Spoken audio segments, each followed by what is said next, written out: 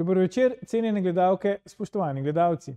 Moje ime je Aljuš Pertinač. Slovenija nima predsednika vlade, ima pa robi starja solarja, vi pa spremljate najbolj politično korektno vdajo slovenskih televizij.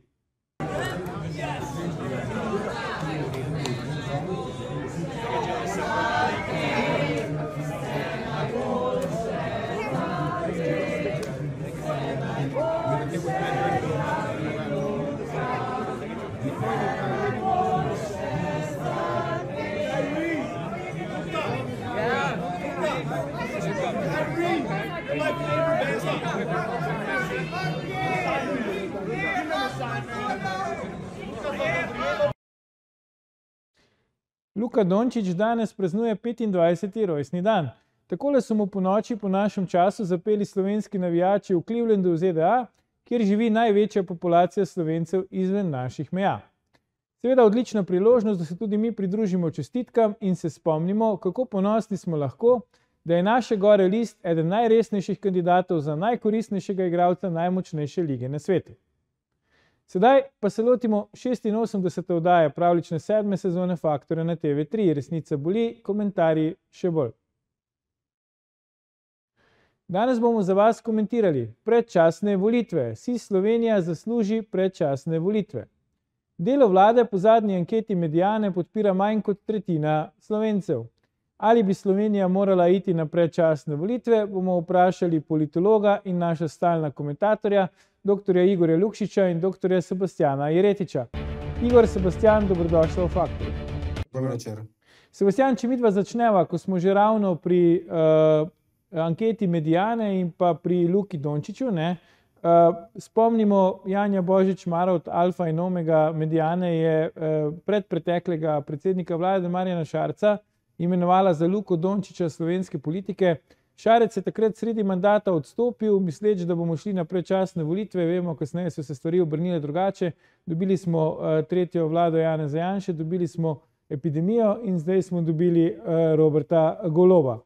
Uh, če primerjaš takratno pa zdajšnjo uh, situacijo, ti si takrat, mislim, da pozdravil Šarčev odstop in rekel, da so predčasne volitve prava rešitev.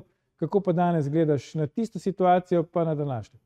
No, takrat sem pozdravil uh, tisti odstop bolj z vidika neke taktične poteze, ki bi uh -huh. omogočila okrepitev. Zato, ker treba nekaj vedeti. Ne? Takrat je leta 2018 na volitvah ni bilo velikega zmagovalca anti-janše uh, pola, ampak je bil tisti pol popolnoma razdrobljen. In uh, Marjan Šarec je imel takrat 14 odstotkov, tako da je bilo veliko ja. majhnih partnerjev in s tisto taktično potezo bi si zlahka v tistem momentu. Eh, pridobil, da mora reči, zelo močnejšo uh, pozicijo. Naredil je seveda ključno napako, da se niti s svojimi najbližjimi ni pogovoril uh, o tisti potezi, uh, in je zaradi tega se uh, potem zgodila tretja Janševa vlada. Ne?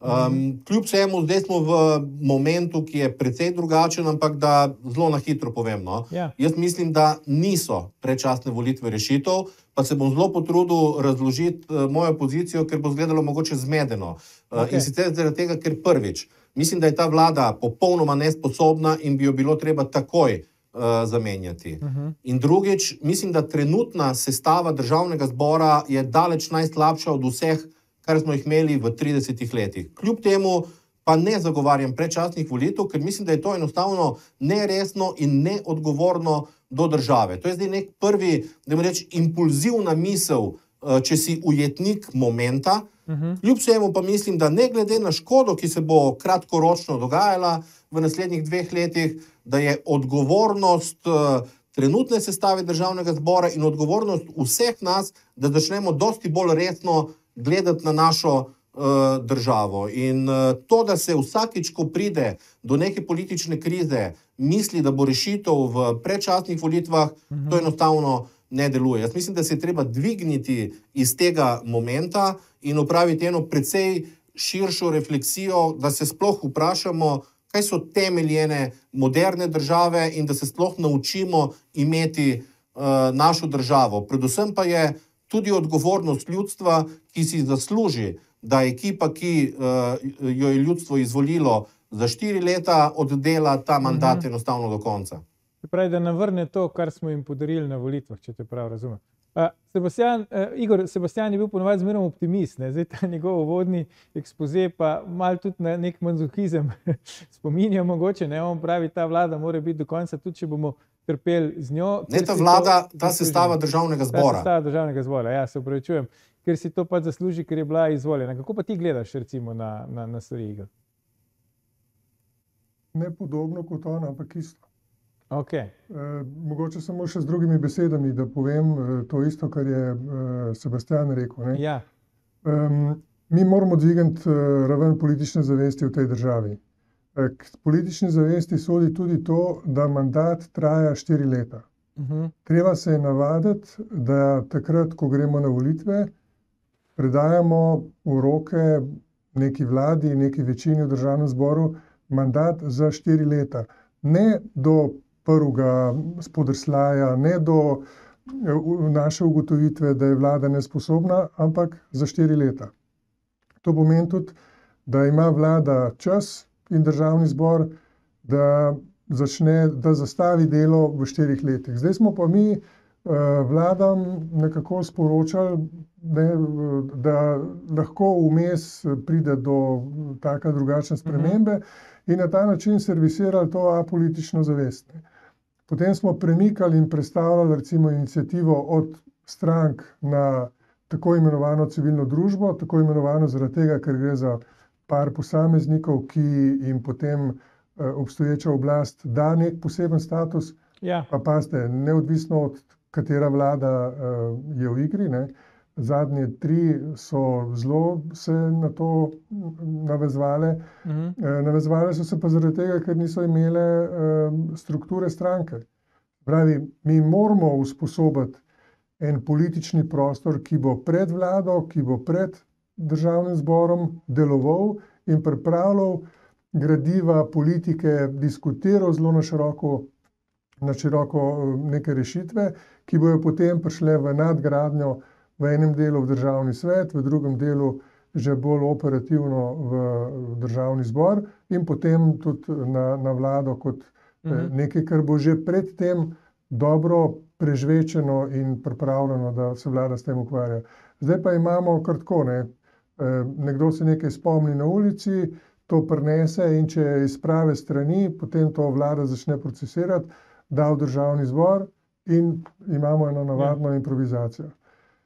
Zdaj, dve delimi se mi tu porajata. Prva je ta, da kot smo videli že na ekranih, ne, se pravi, podpora vladi eh, je izjemno nizka. Ne. 30 odstotkov slovencev samo podpira po teh anketah eh, delo vlade, medtem ko je zadovoljstvo z delom vlade oziroma z učinkovitostjo vlade pa še niže, ne, je pa 25 približno odstotkov. Se pravi, vsak četrti slovenc misli, da je vlada učinkovita. Prav, prva dilema, uh, ne, kako s tako vlado zdržati do konca mandata, če je nihče ne podpira in ni učinkovita. In druga dilema, ne, to, kar pravita, se pravi, da se bomo naučili, kako se pravilno obnašati v politiki in tako dalje. Ne. Ampak s temi ljudmi, ki so zdaj tam, vprašanje, če se bojo oni kaj naučili, oziroma na kak način od njih zdaj dobiti kaj več od tega, kar smo do zdaj dobili.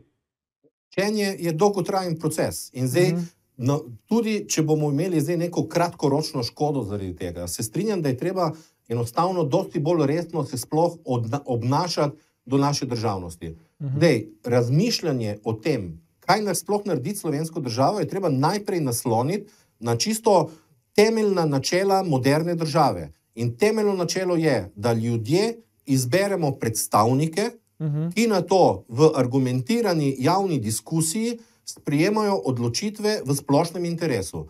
To je seveda pravljica, to je politični mit moderne države, to so ideali, ampak te ideali so bistveni, zato ker te ideali so dejansko navodila za rabo države. In ko smo Slovenci pred 30 leti postavili, sestavili državo, enostavno nismo prebrali navodil. In to je eh, zelo pomemben razlog, za politično krizo, do katere smo danes prišli. Mhm. Nam je v 90-ih letih, zakaj še nekako funkcioniral politični proces? Zato, ker smo imeli navodila od zunaj.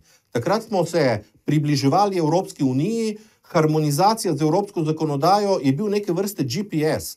Karkoli mhm. se je v slovenski dnevni politiki zgodilo, se je presojalo samo z enega vidika. ali nas to približuje Evropski uniji, ali nas oddaljuje. Skratka, imeli smo neke vrste coaching, kako ravnati z državo. Po vstopu v Evropsko unijo pa se je ta GPS enostavno um, izgubil in kot sem rekel, ideali moderne države, tudi ta politična filozofija, politična teorija, govori o tem, kako ravnati uh, z državo. In se moramo zavedati tudi naslednje. Kot je rekel Igor, mi izvolimo nekoga in to je odgovorno dejanje, to ni hec. Izvolimo nekoga zato, da bo štiri leta odločal v miru, kot ustava določa, ne zato, ker se par mandelcev razglasi za glas ljudstva in potem pritiska na poslance, ampak da so poslanci kot predstavniki vsega ljudstva, ne vezani na kakršna koli navodila, ker je to pogoj, da sploh govorimo o idealu odločanja v splošnem interesu. In državni zbor je tisti, ki ima štiri leta mandat. Trenutna vlada se lahko zamenja zelo hitro, zaradi tega, ker imamo praktično neke vrste skupščinski sistem in bistvo suveren, torej prenosa suverenosti strani ljudstva leži v parlamentu. In parlament je odgovoren, da ugotovi, da ne samo zaradi anket javnega mnenja, ampak že če se pogledajo v ogledalo, pa med sabo pogovorijo, jim je jasno, da je ta vlada nesposobna reševati dnevne težave, kaj šele neke strateške. Dolgoročne in bi zato trenutna sestava enostavno morala poiskati, oblikovati neko drugo ekipo, sicer pa bomo vsi skupaj trpeli do konca mandata, ampak potem ali se bodo ljudje enkrat zbrihtali in ugotovili, -huh. da je tudi politika strokovno vprašanje, ker so pomembne izkušnje in da to ni nek hec, ker teh ljudi, ki jih imamo danes v vladi, pa jaz ne bi imel v hišnem svetu, kaj šele, da nam državo vodijo. In je čas, da, kot sem rekel, tudi za račun neke kratkoročne škode, se enostavno začnemo odgovorno obnašati do naše države in do našega ustavnega reda. V redu. Uh, predlagam, da damo gledalkam in gledalcem možnost, da malo razmislijo o tem, kar smo do zdaj povedali. Tako da ne nam ujiti, se vrnemo po oglasih, ko nadaljujemo s komentiranjem, ali moramo na prečasne volitve ali ne. Ostanite.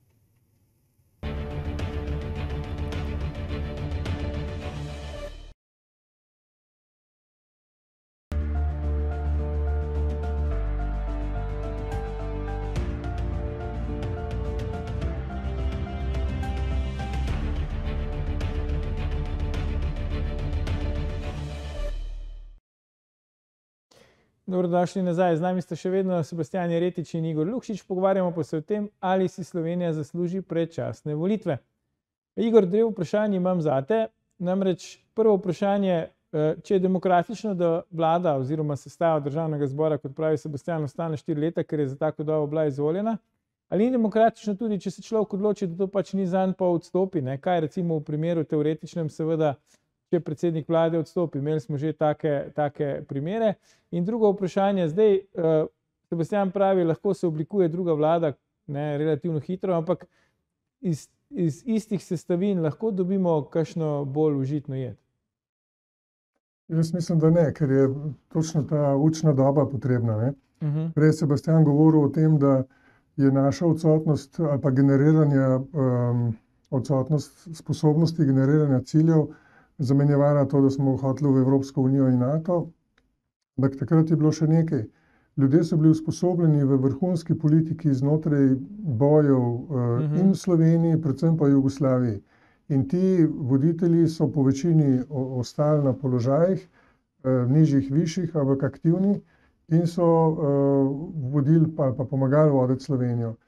Se pravi, tisti kadri, ki so se naučili politike v 80-ih ali pa celo v 70-ih letih, so v 90-ih letih to znali delati. Uh -huh. In še v enem delu, tam recimo do leta 2004-2005. Potem se je pa začel udor teh novopečenih ljudi, ki niso imeli izkušenj. In zdaj imamo problem, da so prišli že ljudje, ki absolutno, razen recimo Jana Zajanša, pa še koga iz njegove generacije, uh -huh ni ljudi, ki bi se imeli priliko izšolati v tem, kako se politika dela in na tehnični ravni in tako naprej. In ker mi nimamo to vrstnih šol, to šolo bi pa morale predstavljati stranke, ker to ni šola v smislu politične šole ali fakultete, ampak je to šola Mhm. Ni to je vsakodnevnega, šola, ne- to je šola vsakodnevnega delovanja znotraj politike. Mhm. In ta šola pri nas edino poteka recimo znotraj eh, lokalnih politik in vidimo, da na lokalni ravni so se že izšolali kar eni dobri župani, znajo delati tudi sveti, verjetno je tudi nekaj dobrih svetnikov, ampak em, na državni ravni pa nimamo to vrstne šole. Še zlasti zaradi tega, ker se nam kar naprej menjavajo. Mhm. Zdaj, če bi mi vsaj en del teh ljudi lahko zadržali v neki zgodbi, bi bilo v redu. Ne? Ampak v glavnem nam to ne uspe. Um, in namesto strank, ne, potem dobivamo uh, profesionalne razne PR-ovske agencije, ki, ali pa novinarje, ali pa neke, ki so bili blizu politiki, ampak ne vejo, kako se politika dela. In potem pridejo svoje frustracije deliti, tako kot imamo zdaj generalno sekretarko Svobode, ne, ki potem vodi pravzaprav celo Slovenijo v neko smer v skladu s svojimi frustracijami in predvsem z odsot- odsotnostjo enega znanja, poznavanja in ene dobre mreže. In tle je problem, ne, da ljudje hočejo, da se vsakodnevno eh, preslikavajo njihove aktivnosti v eh, podporo vladi, torej na dnevni ravni ali na mesečni ravni. Ne, ta, recimo, padec podpore ne bi bil tragičen, če bi vlada res delala politično, Mhm. torej dolgoročno in bi zdaj bil, bi bilo obdobje, ko bi implementirala nekatere reforme, na katere bi se ljudje morali še počasi prevaditi, da bi jih malo sinhronizirala, in ob koncu mandata bi lahko um, žela uh, pač sadove. Uh, zdaj pa temu ni tako. Zdaj smo samo ugotovili, da ta vlada nič ne dela, da to, kar dela, je dnevno odzivanje na nekaj, Mhm. ne, predvsem na dvigovanje rejtingov, in verjetno bo v tej smeri, pri tej sestavi ljudi šlo naprej. Torej, če se gibanje Svoboda in vlada ne bojo eh, začeli najprej diagnosticirali, poenotili diagnozo, ki jo mi vidimo, eh, in potem začeli z neko ustrezno terapijo, Mhm. Potem bomo pač usvojeni na to, o čemer govori Sebastian Retič, se pravi, da bomo um, čakali na boljše kadre enkrat, ne, ko bo ta država spoznala, da more vsi vzgojiti boljše uh, voditelje. Mhm. Zdaj, uh, Sebastian, uh, Igor je že omenil, ne, generalno sekretarko gibanja uh, Svoboda. Uh, krožijo pač informacije v javnosti, da bi naj pač golob se moral od nje posloviti, oziroma da ne bi smela pač več imeti takšnega vpliva na vodenje države, kot ga ima zdaj. Po drugi strani tudi krožijo informacije, da premijer golob sam okrog razlaga, da bi rad šel za evropskega uh, komisarja. Zdaj, koliko teže daješ ti tem govoricam ne, in kaj bi pomenilo eno ali drugo, kolikor bi do tega prišlo. Govorice so vedno pomemben del političnega procesa. Uh Mhm. Ali držijo ali ne, ni važno, ker ustvarjajo uh, neko politično realnost, ne? tudi če Mhm. mhm. sami akteri ne stojijo uh, za tem. Um, zdaj, kot sem rekel, bistvo našega ustavnega reda je, da prenesemo državnemu zboru uh, suverenost. In Uh -huh. uh, v zrelih demokracijah ni nič nenavadnega, če bi ista sestava, ista parlamentarna večina, torej zagotovo uh, Svoboda, Levica in SD, enostavno izbrala popolnoma novo ekipo in Uh -huh. uh, nadaljevala uh, recimo uh, z vladanjem. Tako da tudi odhod uh, kakega predsednika vlade v teh državah ni popolnoma nič uh, problematičnega. Smo videli to v Avstriji z odhodom Kurca, vidimo to večkrat lahko uh, tudi v kakšni drugi državi, v Veliki Britaniji recimo. Ne? Skratka, je to popolnoma normalna praksa v, uh, v zrelih uh, demokracijah. Pri nas je pa problem, uh, ki se ga je tudi Igor dotaknil, da preko sem govoril, da nismo prebrali navodil za uporabo države. Ne? Ja. Poleg temeljnih načel moderne države, tudi nismo razumeli, da so politične stranke glavno orodje, s, katerimi, s katerim se oblikuje neka politična elita, se izobražuje, se organizira, koordinira Mhm. in uničenje političnih strank, ki se je zgodilo v Sloveniji, nos, je velik del uh, krivde za to, da imamo danes krizo politične elite. Ker poleg tega, da imamo krizo politične zavesti, ker ne vemo, kako ravnati z državo, je tisto, kar je najbolj vidno, ravno to. Kot je rekel Igor, če primerjamo sestavo današnje politične elite s tisto iz 90-ih let, je to seveda neprimerljivo po nekih politično-intelektualnih uh, kapacitetah. Ne? Tako da v normalnih demokracijah odhod enega ali drugega od akterjev, ki si jih omenil, uh -huh. bi pomenil samo, da moramo reči, neko novo dinamiko, torej nič tektonskega, mogoče neko sprostitev uh, napetosti, priložnost za to, uh, da bi se z nekaj potezami tudi dvignila podpora javnosti.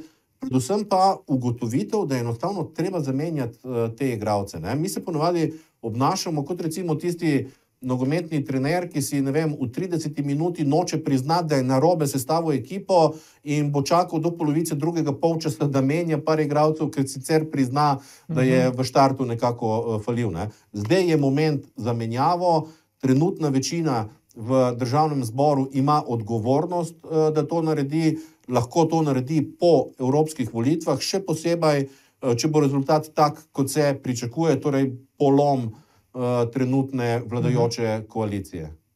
Zdaj, če gremo še na to, nismo se dotaknili tega, kar se je dogajalo v strankah. Recimo, ja. Levica, Levica je zamenjala svojega koordinatorja, ne, ni se še zmeraj uh -huh. ne konstituirala kot stranka, nima tega potencijala, da bi zvolila. še zmeraj nima. Ja. Tako, da bi zvolila predsednika ali predsednico, se pravi z vsem mandatom, ki ga predsednik oziroma predsednica nosi. Uh, Eh, v vladi pa niso nas spremenili. Oni so bivšega predsednika, ki je izgubil, oziroma koordinatorja, mhm. pustili uh -huh. na poziciji podpredsednika vlade. Zdaj, podobno se dogaja zdaj v SD-ju, zgleda, da bo prišlo do menjave vodstva. Zdaj, kaj bo, uh, Fajonova še zmeraj podpredsednica stranke, ali bo Fajonova še zmeraj zunanja ministrica? Vlade, bo, bo, pardon, ja. vlade, ja, vlade in uh, zunanja ministrica. Uh mhm. -huh. Kaj bo to pomenilo? Se pravi, ti imaš neke velike kaos spremembe v, v stranki, uh, recimo v Levici, in se v resnici nič ne spremeni. Mhm. Edino, kar se je spremenilo zdaj, se dogaja po svestom, da Kordiša, eh, Kordiša mečejo ven iz poslanske skupine. Mhm. E, se pravi, to sploh ne vpliva na uh, stanje v državi. In bomo videli, kaj se bo zgodilo v SD-ju in kako bo to vplivalo. Ne. V gibanju Svoboda se to ne more zgoditi, ker je eh, obstaja samo ena persona v tej stranki, to je Robert Golob. Ja. In če Robert Golob gre na evropsko raven ali kamorkoli iz države, je te stranke konc, ker je ni. Je ta stranka samo Robert Golob. Uh mhm. -huh. Ni drugega imena v tej stranki. Ta poskus ne s finančnim ministrom, ki ga je, če se spomnimo, pred enim letom Robert Golob eh, nekako krcal javno do te mere, da je izgledalo, da bi bilo najbolj, da on odstopi takrat. Ja. E, skupaj s takratnim e, ministrom za, za zdravje je oba mm. tam e, nekaj javno kloftal in je, je zgledalo, kot da je predtem, da bo šel. Ga je zdaj po enem letu naredil za podpredsednika stranke in na nek način vidimo tudi v imenu pa tam podpredsednika vlade in zdaj mm -hmm. nastopa v imenu kar stranke, tudi, ne, čeprav ne vem, tam kakšno funkcijo imel ali ne. Torej, yeah. Ja. Ta uh, poljubnost, ne, uh, dnevno politična uh, pri ključnih ljudeh je skrajno neprimerna za to, da bi zagotavljali neko stabilno situacijo. In v teh tako imenovanih strankah, ki v resnici ni, ne, ki so nekako izpuhtele, in potem v državi in v vladi. Mm -hmm. Lahko tle samo ja, dodam. Izvoli, ja. um, recimo v aferi Litiska in uh, tej drami okrog uh, Dominike Švarc-Pipa, recimo ena od stranskih zadev se je dotikala ravno tudi tega odnosa do strank. Ne? Recimo njena izjava, da predsedstvo strank nima kaj odločati o tem, kdo je v vladi, ker o tem odloča predsednik vlade in državni zbor, kot da so stranke torej nekaj, kar pride prav samo takrat, ko je treba plačati recimo uh, kampanjo. Mm -hmm. uh, torej, ta odnos uh, posa egotov, posameznikov, ki se imajo um, za ključne akterje kot individu individuumi, ne pa kot del neke ekipe, ker ne razumejo, da je politika ekipna uh, dejavnost, je tudi nek, uh, neka značilnost, ne zdaj samo Slovenije, ker je to najbolj ekstremno uh, v sploh zadnjih uh, 15 let ampak se mhm. dogaja tudi v Evropi. Ne? Opaža se ta trend eh, personalizacije, eh, kjer se določeni posamezniki v nekaterih državah postavijo, eh, v, torej, da so nad stranko, Tako se je recimo zgodil Macron, ki je bil del e, minister ene stranke, šel na svoje, naredil gibanje in stranko in uh, zdaj recimo uh, vodi državo. Uh -huh. V Italiji se je zgodilo tako recimo uh, z Rencijem, uh, ki je bil predsednik vlade, predsednik stranke, ko je izgubil ob, obe poziciji, je naredil svojo stranko in nadaljeval kariero. Kratka, tudi v Evropi imamo obe praksi. Tisto, o kateri sem prej govoril, ja. uh, ker je neka zrela demokracija, ki razume, da obstajajo strukture, ki zagotavljajo stabilnost političnega delovanja, ne glede na posameznike, ne glede na recimo neke kikse, ki se nekomu zgodijo in se pač umakne uh, potem iz delovanja. To je, ko v športu dobiš pet osebnih napak in greš ven, mm. in uh, pride drugi uh, na parket. Ne? In so tudi taki primeri, uh, kjer je ta neka nova moda, ki je recimo v Sloveniji. Absolutno prevladuje in to je, da je politika, kot je rekel Igor, nekaj poljubnega, neki ljudje se zberejo, zorganizirajo v posamezne politične projekte. In del problemov pri nas je, kot sem rekel, ravno v tem, da nismo razumeli vlogo, ki jo politične stranke kot aparati za organizacijo uh, in aparati za stabilnost uh, politike zagotavljajo. Ja, zdaj, uh, Igor, uh, a bi pomagali vladi, recimo, k stabilnosti, če bi predsednik vlade Golob že na začetku, recimo na mesto stranke Levica, povabil novo Slovenijo vlado. Če bi zdaj, recimo, prišlo do take rošade, bodi si v, v zdajšnji sestavi ali pa v kakšni drugi sestavi, da bi recimo Nova Slovenija vstopila v vlado na mesto stranke Levica, bi to pomagalo uh, vladi pri učinkovitosti, bi to ukrepilo politično stabilnost v državi? Jaz mislim, da ne. Prvi zaradi tega, ker je Nova Slovenija uh, zdaj zauzela eno uh, pametno opozicijsko držo. Uh -huh. in nima absolutno nobenega razloga, da gre v tej situaciji uh, reševati uh, to vladno držo, ki je ni, se nima kaj reševati. Problem je, mhm. da uh, tudi kogarkoli je težko rekrutirati, zdaj recimo na kakšno ministersko pozicijo. Recimo prej smo pogovarjali, tudi eh, Sebastian je rekel, da bi bilo treba zamenjati te letrošade. Tle verjetno tudi Sebastian ve, s kom, ne? kdo bo šel zdaj za dve leti um, na katero koli pozicijo, ki je mogoče najšipkejša za dve leti, v dveh letih ne moreš več narediti. Pol leta, ko mi prideš noter, mm. postaviš ekipo, eh, potem se pa že začnejo priprave na volitve. E, tako da zavoženo je to obdobje, ko se je dalo še kaj narediti v tem mandatu, eh, recimo s temi kadrovskimi rošadami, eh, to je zdaj prepozno. Eh, tako da vse, kar lahko. Sem rekel enkrat, ne, ti, ki verjamejo v Boga, naj dajo za mašo, ne, da ja. bodo ti Eh, naredili še kaj dobrega ali pa čim manj slabega. Eh, mi bomo pa držali pesti in zobe, da bo čim manj škode in da mogoče pa bo iz tega vendarle kakšna dobra poteza. No. Uh -huh.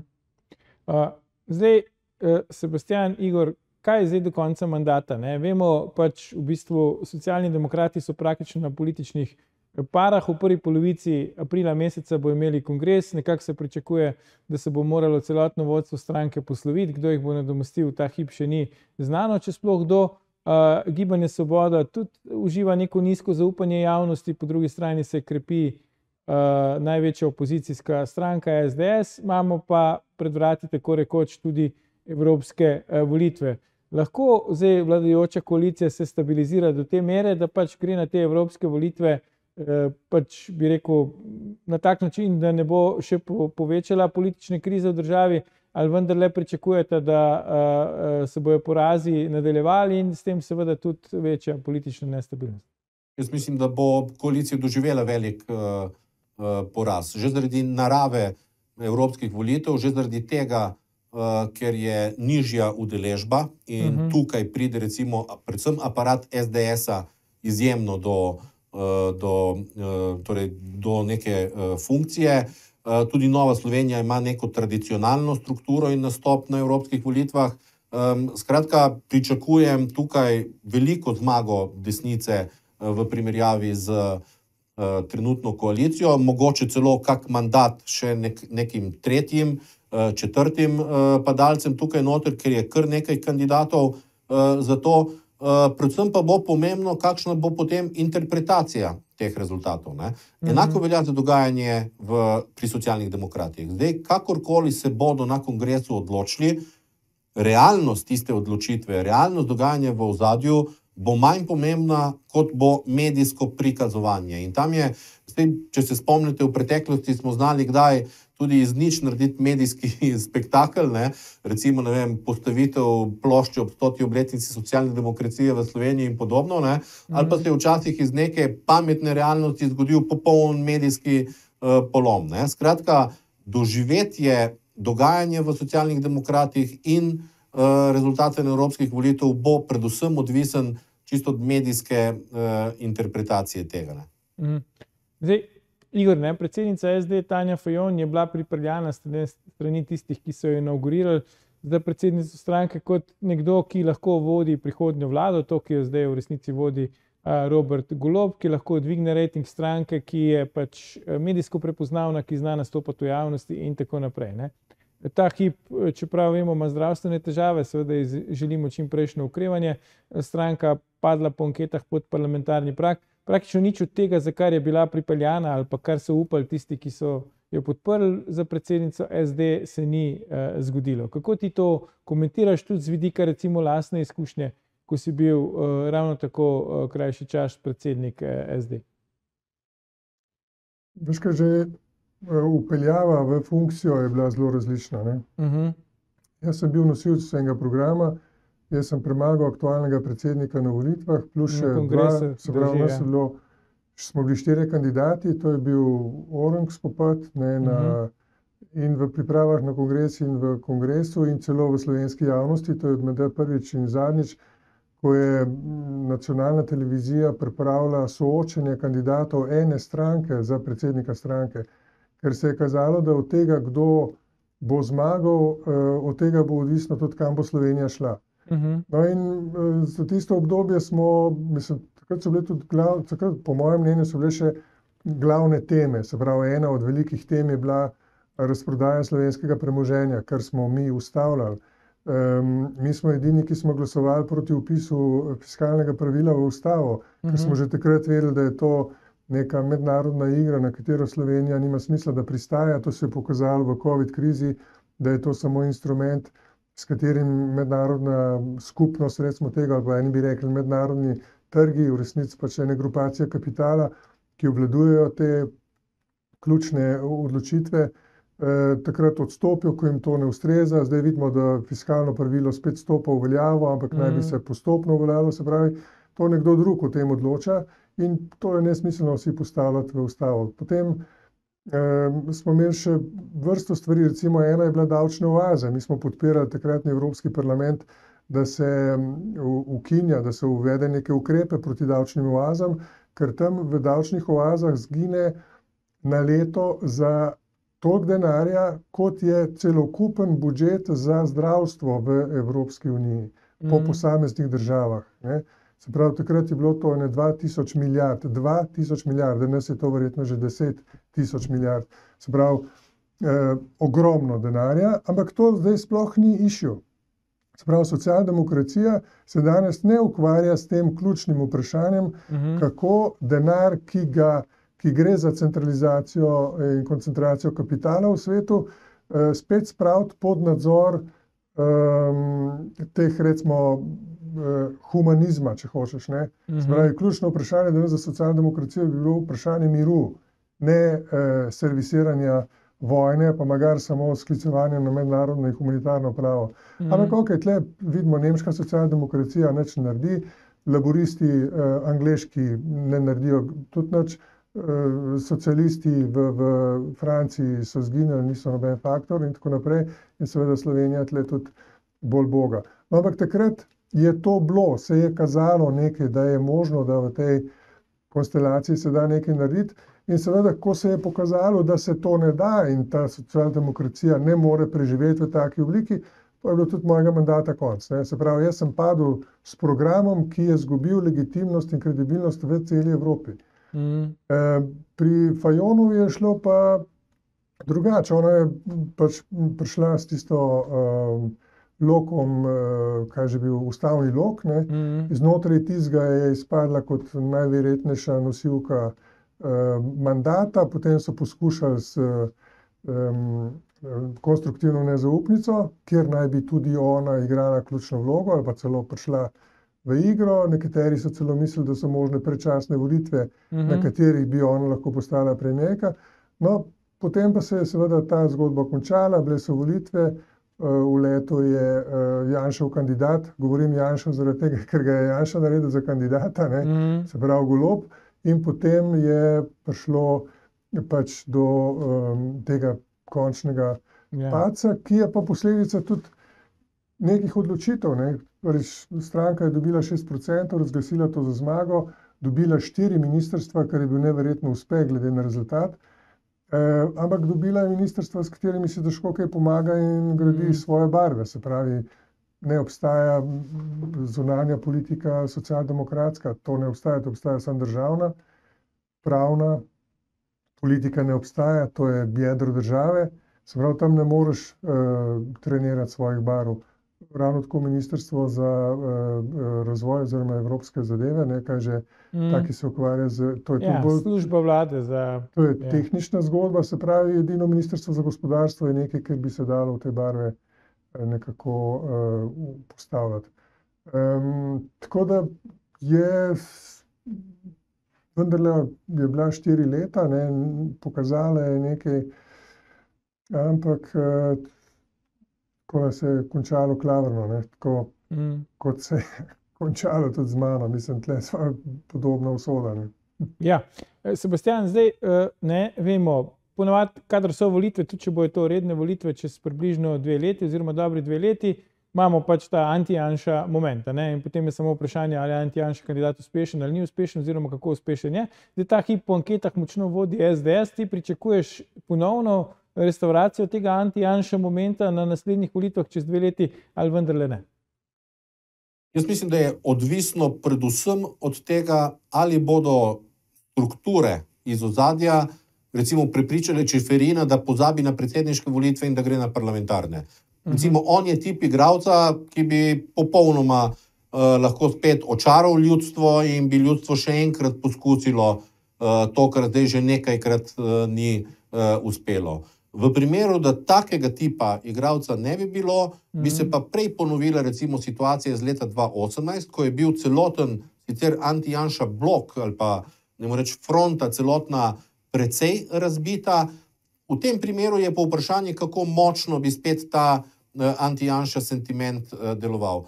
Jaz mislim, da bo ključ za naslednje, ne samo zdaj za evropske, ampak še toliko bolj za naslednje državno-zborske volitve kako se bo recimo odločilo na eni strani kmečko prebivalstvo kot en del, uh -huh. uh, da imamo reči neke neznanke, in predvsem, kako se bodo odločile nove generacije. Nove generacije zdaj že nekajkrat volijo z precej višjo udeležbo uh, kot recimo neke. Srednje generacije, nove generacije se po nekaterih raziskavah tudi vrednostno nagibajo bolj v desno, ali pa nekateri pravijo zdaj v normalo, kot odziv na recimo yeah. Ja. pretiravanje s politiko identitete uh, na, na skrajni levici. In mislim, da bo ravno vprašanje, uh, kako politično pridobiti te nove generacije, mm. lahko odločilo uh, prihodnje državno-zborske volitve. In tukaj, kot opazujem, SDS zelo dobro, uh, zelo dobro delano. Ja. Čisto za konec, da ali ne bi vaju prosil, se vidva vračata v aktivno politiko? Ne. A, okay. Doktor Igor Lukšič, doktor Sebastian Jeretič, najlepša hvala za vajne komentarje v naši današnji vdaji. Gledalke, gledalci, to je bil o tem, ali moramo na predčasne volitve, že 994. faktor na TV3. Jutri bomo za vas komentirali topniški udar na Maribor. Kdo je zbombardiral NK Maribor, Viole ali kar nogometna zveza Slovenije. Ne zamudite, predvsem pa ne pozabite ni vseeno, kdo kaj reče.